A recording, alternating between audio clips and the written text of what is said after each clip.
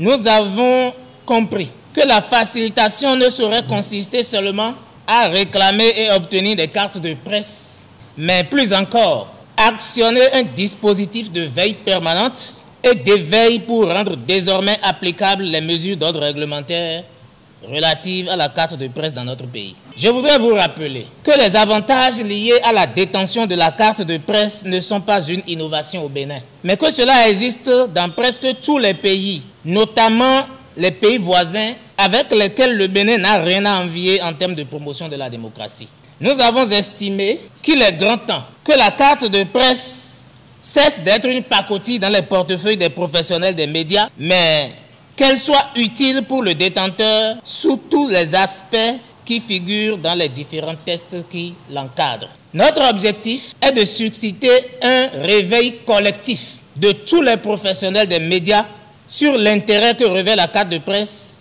dans le cadre de l'exercice de notre métier, afin qu'ensemble nous puissions travailler à faire exécuter enfin les mesures subséquentes au bénéfice des acteurs.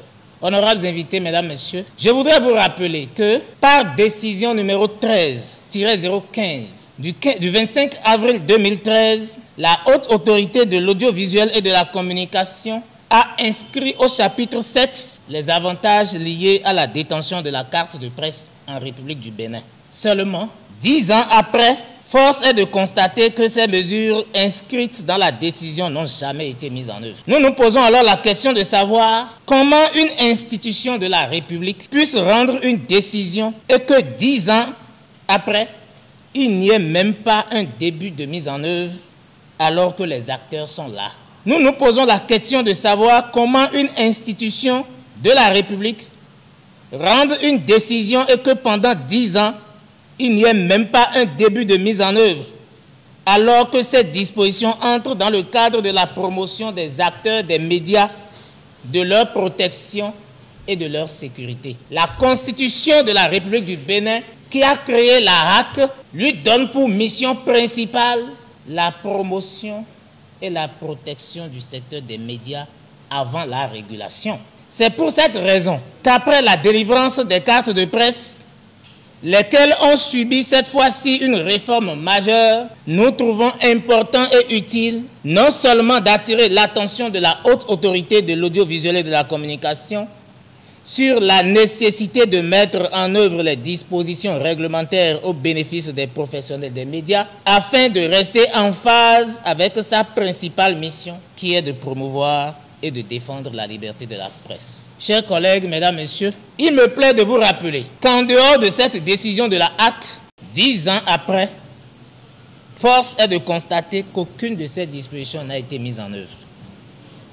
Et pourtant, il s'agit des acteurs des médias. Le comité de facilitation se pose la question de savoir quelle est la portée des négociations des organisations de la presse avec les pouvoirs publics depuis dix ans pour que ce volet important de notre vie professionnelle soit relégué au bas de l'échelle. Comment expliquer cette tendance qui consiste à privilégier les sanctions, mais jamais penser à la protection et à la promotion? Chers confrères, chers consoeurs, nous avons décidé d'attaquer ce chantier avec détermination et foi profonde. À savoir qu'il est temps que les acteurs des médias se mettent debout pour réclamer et exiger des pouvoirs publics ce que les dispositions législatives et réglementaires leur accordent.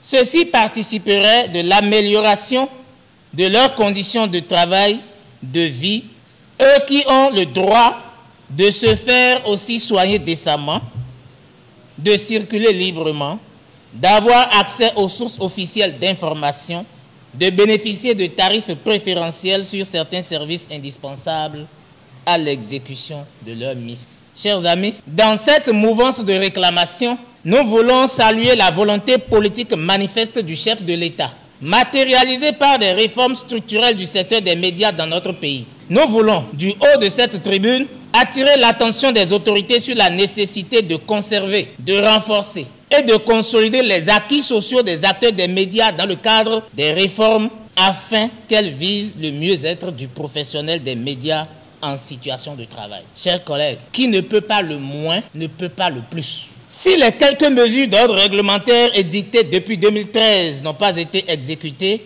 pour le mieux-être des acteurs des médias, c'est qu'il y a une défaillance totale, j'allais dire une démission constatée sur la chaîne, teintée de mauvaise foi, lesquelles sont sous-tendues par de l'inaction et l'immobilisme des acteurs des médias. C'est une pathologie que nous avons entamé de guérir.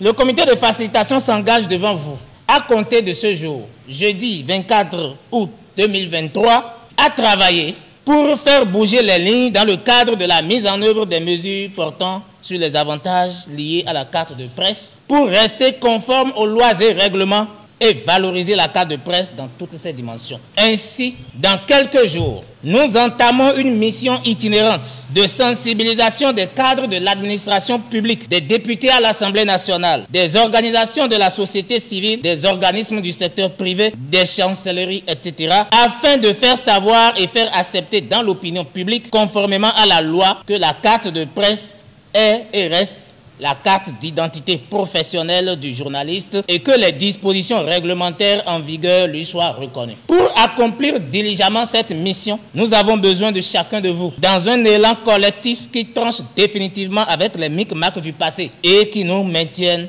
dans la précarité. Dans tous les cas, au niveau du comité de facilitation, nous avons la foi que c'est en nous mettant au travail et en restant éveillés sur les chantiers qui sont les nôtres que nous parviendrons à sécuriser notre environnement de travail et jouer notre partition. Je ne saurais terminer mon propos sans remercier du fond du cœur tous les confrères et consoeurs qui ont participé à l'organisation de ces assises à travers des souscriptions que nous avons lancées. C'est la preuve que nous sommes en train de faire changer positivement certains concepts. Nous comprenons de plus en plus qu'il nous faut être nous-mêmes et participer à l'amélioration de notre environnement. Une fois encore, merci pour vos différentes participations. Je vous remercie. C'est un combat collégial. C'est le combat du comité de facilitation de la carte de presse, mais c'est aussi le combat aussi des associations fêtières. C'est le combat également du CNPA et de l'UPMB. Donc nous avons travaillé la main dans la main. Nous avons un fantassin qui est devant, en la personne de notre confrère Michel, qui est aussi membre du CNPA. Donc aujourd'hui, c'est l'aboutissement d'un processus.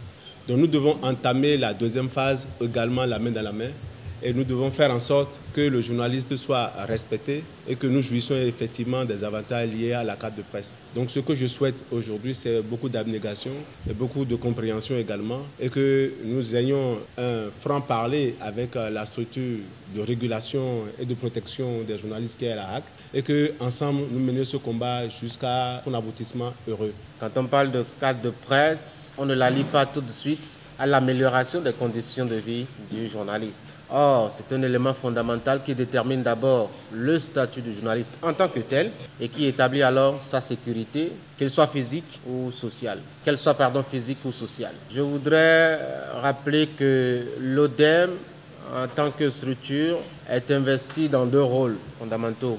D'abord l'autorégulation, mais aussi, et là on ne met pas l'accent là-dessus, la défense et la protection aussi des journalistes. Et c'est au nom de ce volet qu'on ne souligne pas suffisamment que la neuvième mandature à laquelle j'appartiens s'engage et adhère totalement aux initiatives donc du, du comité. Il faut se réjouir qu'il y ait eu ce comité qui soit né et qui ait engagé Manu Militari à la limite les actions et qui nous ait forcé la main. Sinon, nous sommes restés longtemps timorés sur nos propres conditions. Nous sommes toujours prêts à soutenir et accompagner les autres afin qu'ils voient leurs conditions améliorées, mais nous ne sommes pas toujours prêts à nous regarder dans le miroir et à poser les actes qu'il faut pour nous mettre en sécurité sur, tous les plans. C'est pourquoi je voudrais, au nom donc de, l'ODEM, encourager le comité, le féliciter surtout, l'encourager après et surtout euh, lui dire toute la disponibilité de la neuvième mandature à l'accompagner dans, dans ces actions pour que nous puissions euh, faire renaître en tout cas une nouvelle image du journaliste euh, béninois. La nouvelle image, c'est la carte de presse. Et la nouvelle image, c'est surtout ce à quoi une carte de presse peut servir. C'est avec un réel plaisir que je prends la parole à cette auguste occasion au nom du président du bureau directeur de la plateforme des promoteurs et acteurs pour le développement des médias. Il me charge donc de vous transmettre ses propres chaleureuses félicitations, celles du bureau directeur qu'il préside et celles de tous les membres de la plateforme pour l'audace la détermination, l'abnégation, le sens élevé des responsabilités et le don de soi au profit des autres, dont vous avez fait preuve tout au long du processus. Depuis l'atelier de dissémination du jeudi 27 octobre 2022, en passant par la campagne en date du 21 juin 2023 et bien entendu jusqu'à la sortie des cas de presse au profit des professeurs des médias, dont la remise symbolique aux instants fêtières a eu lieu le mardi 5 août 2023 au siège de l'organe de régulation. L'histoire a déjà retenu vos actions pour le bien-être de la corporation. Tous les membres de la FADER Mérin, à commencer par son président, M. Basile Chibozo et moi-même, sommes très sensibles à la solennité qui entoure cette rencontre et nous nous sentons sincèrement honorés pour avoir été officiellement saisis de, prendre part à cette inoubliable rencontre.